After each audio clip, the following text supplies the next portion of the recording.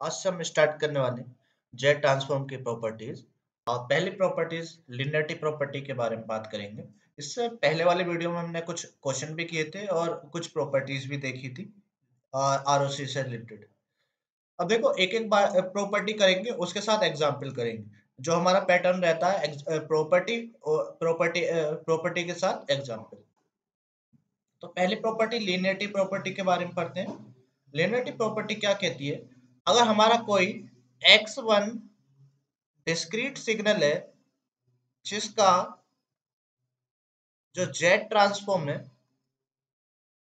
वो x1 of z है, जिसका R O C R O C कितना हमारा? हमने क्या दिया आर वन एक कोई दूसरा सिग्नल है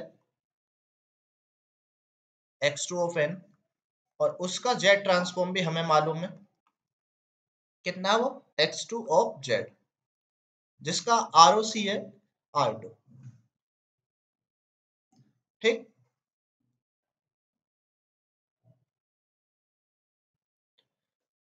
तो लीनियरिटी प्रॉपर्टी क्या कहती है? अगर किसी कांस्टेंट से मल्टीप्लाई करो पहले सिग्नल में प्लस दूसरे सिग्नल का beta into X two of N then इसका कंबाइंड जेड ट्रांसफॉर्म क्या होगा? अगर पहले में एल्फा का मल्टीप्लाई किया तो उसके जेड ट्रांसफॉर्म में भी एल्फा का मल्टीप्लाई हो जाएगा। और दूसरे में बीटा का मल्टीप्लाई किया तो दूसरे वाले में क्या हो जाएगा? बीटा का मल्टीप्लाई हो जाएगा। एल्फा और बीटा क्या है यहाँ पे? कोई आर्बिट्रेरी कांस्टेंट एल्फा बीटा क्या है मेरे? आर्बिट्रेरी कोई भी कांस्टेंट है। कांस्टेंट लेकिन इस पूरे सिग्नल का आरओसी क्या बन जाएगा? अब इस पूरे सिग्नल का आरओसी क्या हो जाएगा? इन दोनों सिग्नल का जो कॉमन पार्ट होगा कॉमन पार्ट मतलब उसका इंटरसेक्शन तो इसका आरओसी क्या हो जाएगा? आरओसी क्या हो जाएगा? R one intersection R two intersection का मतलब कॉमन एरिया ये कब तक होगा?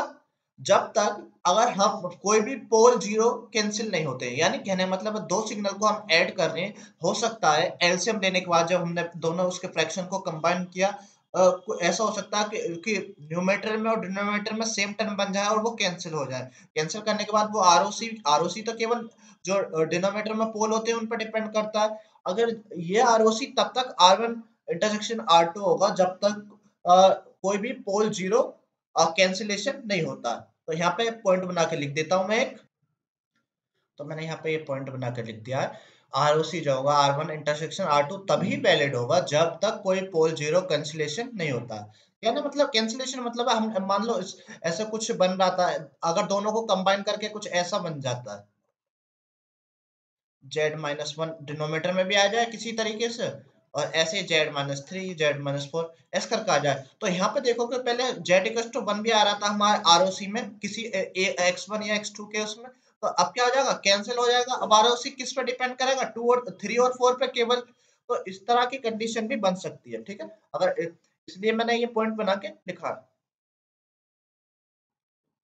अब देखो लिनियरिटी प्रॉपर्टी पर बेस्ड एक क्वेश्चन करेंगे, जो कि हम हमेशा करते हैं। तो जेड ट्रांसफॉर्म फाइंड का नाम है four upon five mod of N का।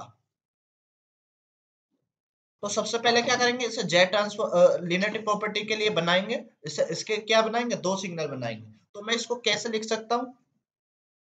फोर अपॉन फाइव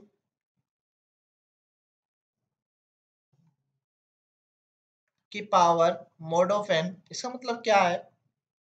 अगर इसकी डेफिनेशन लिखो इसकी पावर क्या वैल्यू कितना होगी? फोर अपॉन फाइव की पावर एन होगी जब एन की वैल्यू क्या है? ज़ीरो से बड़ी है। और इसकी वैल्यू क्या होगी? फोर अपॉन फाइव की पावर माइनस एन हो जाएगी जब एन की वैल्यू क्या है? ज़ीरो से छोटी है। क्या इसी चीज़ को आप, आप कैसे लिख सकते हैं? सिग्नल एंड सिस्टम की फॉर्म में कैसे लिखोगे? जब कोई चीज़ एन से, से बड़ी या होती है तो उसके लिए क्या वर्ड यूज़ करते हैं हम? U N four upon five की पावर एन यू एन लिख सकते हैं इसको? इसका मतलब यही है जो यहाँ पे लिखा हुआ है वही इसका मतलब है। नेक्स्ट ये क्या एन से छोटा? जब एन से छोटा होता है तो हमें क्या करना पड़ेगा?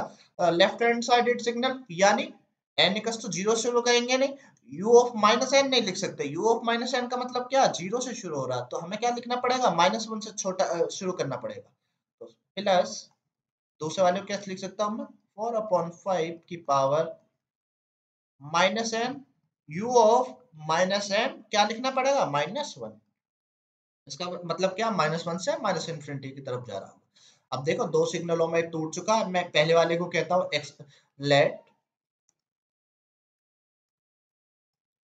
एक्स वन एन किस जगह मैंने मानी है फोर अपॉन फाइव की power N U N and X two N कितना मानी है मैंने?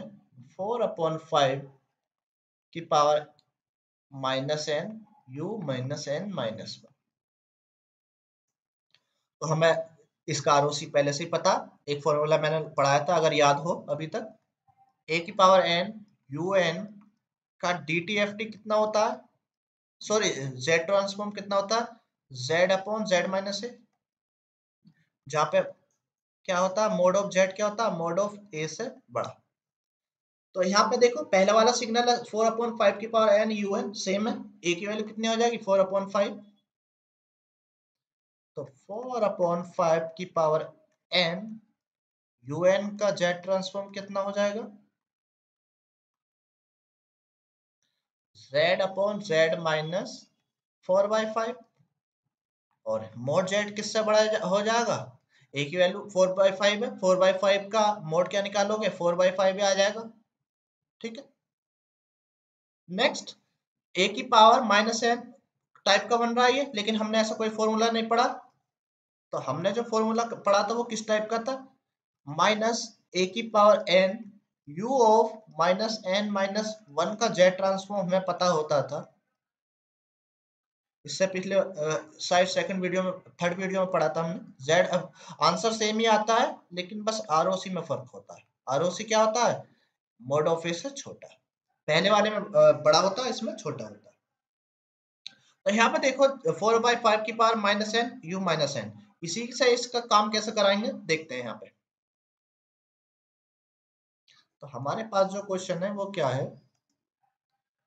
फोर अपॉन फाइव की power minus N U minus N minus one इस चीज़ को मैं कैसे पावर मेरा प्लस होना चाहिए। तो मैं इस पावर को प्लस बनाने के लिए क्या करूँगा? देखो, इसको मैं ऐसे भी तो लिख सकता हूँ। डिनोमिनेटर को चेंज कर दो तो पावर प्लस हो जाएगी। तो इसे मैं फाइव अपॉन फोर की पावर एन लिख लेता हूँ। तो पावर प्लस बन जाएगी अब मेरी। U O minus one minus one तो अब देखो फॉर्मूला सेम बन गया ए की power N U minus N minus one दोनों तरफ़ माइनस वन की कमी है, जैसे वहाँ पे अल्फ़ा बीटा मल्टीप्लाई कर देते हैं, यहाँ पे भी अल्फ़ा की जाए समझ लो माइनस वन से मल्टीप्लाई कर देंगे दोनों तरफ़ बनाने के लिए. तो फाइव अपॉन फोर का जो जेड ट्रांसफॉर्म है, वो कितना आ गया? Z upon Z minus same ही रहेगा बिल्कुल फाइव अपॉन फोर लेकिन कमी क्या है? यहाँ पे माइनस वन चाहिए और इधर भी माइनस वन चाहिए। तो मैंने इधर भी माइनस का मल्टीप्लाई कर लिया तो इधर भी करना पड़ेगा, दोनों तरफ़ मल्टीप्लाई करना पड़ेगा। ठीक? और क्या होना चाहिए? मोड जेड क्या होना चाहिए? इस बार छोटा होना चाहिए किससे? फाइव अपॉन फोर से। ठीक है? फाइव अपॉन फोर से छोटा होना चाहिए। तो यहाँ से हमें दो चीज़ें पता चल गई। दोनों का आंसर हमें आ चुका है। तो इसी आंसर के अकॉर्डिंग हमारे जो जेड ट्रांसफॉर्म में क्या होगा? बाइलिनिटी प्रॉपर्टी दोनों का सम इसको ऐड कर देंगे और इसको ऐड कर देंगे। आरओसी क्या होगा? कॉमन पार्ट अगर कॉमन पार्ट नहीं होता तो ROC exist sorry Z transform exist नहीं करेगा। देखते हैं पहले कॉमन पार्ट मिल भी रहा है या नहीं। तो बाइलिनिटी प्रॉपर्टी क्या मिल जाएगा मुझे? प्रॉपर्टी क्या मिलेगा मुझे? एक चीज़ देखो, अभी सॉरी एक मिस्टेक कर दी मैंने। यहाँ पे जो होता है ये ये फॉर्मूला किसके लिए होना चाहिए? इसके लिए होना चाहिए केवल ठीक है? लेकिन हमारे क्वेश्चन में क्या माइनस नहीं आ रहा तो इस माइनस को हटाने के लिए मैं क्या करूँगा? दोनों तरफ़ माइनस वन से मल्टीप्लाई करूँगा। ठीक है? हमारे यहाँ, हमें तो केवल five point four power N U minus N minus one का चाहिए। ये जो आरओसी है माइनस ए की power N U minus N minus one का है Z upon Z minus five by four लेकिन हमारे हमें जो आरओसी किसका चाहिए? केवल फाइव बाई फोर की power N U minus N minus one का। तो मुझे क्या करना पड़ेगा? दोनों तरफ़ माइनस वन से मल्टीप्लाई करनी पड़ेगी। अब ये क्या बन गया? फाइव पॉइंट फोर की power N U minus N minus one का Z transform minus Z upon Z minus R कितना आ गया हमारे पास? दोनों को बस ऐड करके लिख दो सिंप्लीफाई कर लो। फोर अपॉन फाइव की power N U N plus five upon four की पावर फाइव अपॉन फोर की power N U minus N minus one का जो जेड ट्रांसफॉर्म है, कितना आ गया? पहले वाले का आया था Z upon Z minus four by five plus दूसरे वाले में माइनस आ रहा तो बीच में माइनस लगाएँगे। Z upon Z minus five upon four R अभी फाइंड कर लेंगे। पहले इसको मैं सिंप्लीफाई कर देता हूँ। कितना हो जाएगा नीचे? एलसीएम ले लेते हैं। ऊपर से जेड कॉमन ले लेते हैं भाई साहब, बाहर की तरफ़। तो कितना बचेगा? Z minus four by five और यहाँ पे कितना चाहिए Z minus five by four तो यहाँ पे होगी वन से मल्टीप्लाई यानी Z minus five by four और इसमें यहाँ बचेगा माइनस वन माइनस वन से मल्टीप्लाई कर लो इसमें। जेड से जेड कैंसिल हो जाएगा यहाँ पे। तो यहाँ पे मैं five by four plus four by five को ऐड करके दिखा देता हूँ। कितना हो जाएगा ये? फाइव और फोर कर एलसीएम लिया ट्वेंटी पाँच की इसमें की माइनस पच्चीस और चार की चार में की सोलह। कितना बचेगा? माइनस नौ बटे तो हमारा कितना आ गया ये? टोटल जेड ट्रांसफॉर्म कितना बैठ गया ये? इस पूरे सिग्नल को मैं वही लिख सकता हूँ जो ओरिजिनल सिग्नल गिवन था मैं फोर अपॉइंट फाइव का पावर मोड एन का जो जेड ट्रांसफॉर्म है, वो मुझे कितना मिला है? Minus nine by twenty Z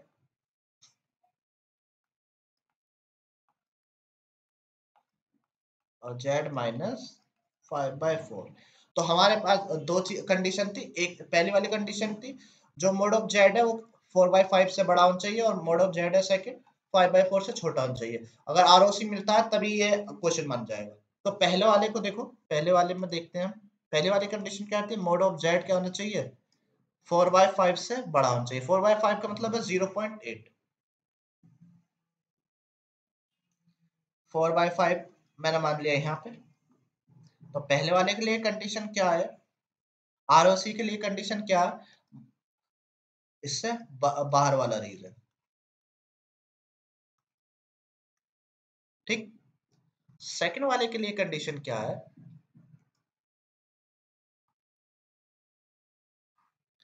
five by four से सेकंड वाला क्या कहता है? फाइव बाय फोर से अंदर वाला region five by four four by five से बड़ा होगा ये वन पॉइंट टू फाइव है लगभग। सर्कल ड्रॉ करना।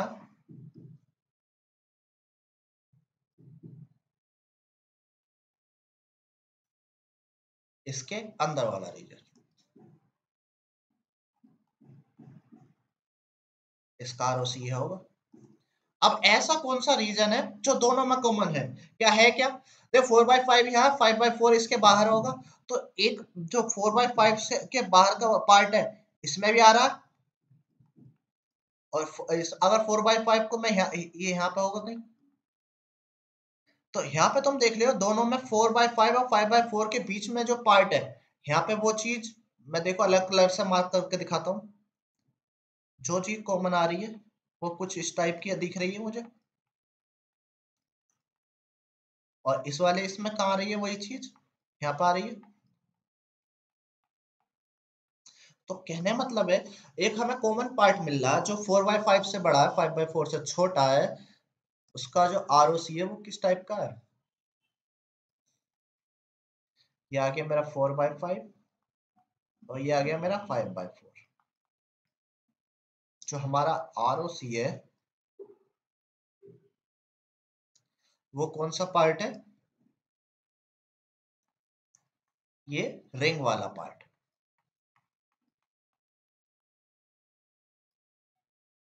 क्या है ये? रिंग वाला पार्ट ठीक? तो हमारा आर जो हमें मिला, क्या आया हमारा आर फाइनल आर क्या है? मोड ऑफ़ जेट क्या है? कितना है? फोर बाई फाइव से तो बड़ा होना चाहिए। और क्या होना चाहिए? फाइव बाई फोर से छोटा होना चाहिए। तभी क्या करेगा हमारा ये जो जेड ट्रांसफॉर्म है minus nine by twenty Z Z minus four by five Z minus five by four exist करेगा, ठीक है? तो हमने यहाँ पे देखो are O C R O सी देखा कैसा फाइंड करते हैं। इसी तरीके से जब तक कोई कॉमन एरिया नहीं मिलेगा, तब तक वो आर एग्जिट नहीं करेगा। ठीक? जब दो या दो से ज़्यादा सिग्नल आते हैं। आई होप आप लोगों को ये समझ आया होगा। ये लिनेटी प्रॉपर्टी के बारे में जाना। इससे नेक्स्ट वीडियो में हम नेक्स्ट प्रॉपर्टीज़ के बारे में बात करेंगे। ऐसी एक एक करके। ओके थैंक यू मिलते हैं नेक्स्ट वीडियो में नेक्स्ट प्रॉब्लम के साथ।